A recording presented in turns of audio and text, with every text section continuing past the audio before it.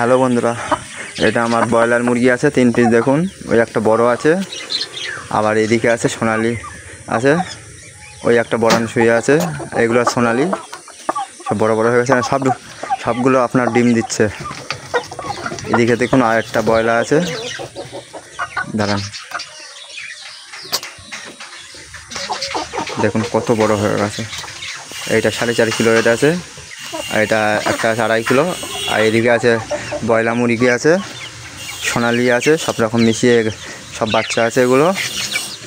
এই ব্রয়লার মুরগি আছে এখানে, সোনালি আছে, কত সুন্দর হয়ে গেছে। এগুলো সব ছাব্বিশ দিন, আঠাশ দিন এরকম বয়স।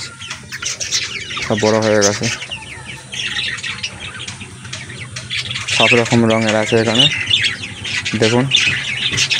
ভিডিওটা ভালো লাগলে একটা লাইক, একটা শেয়ার করবেন।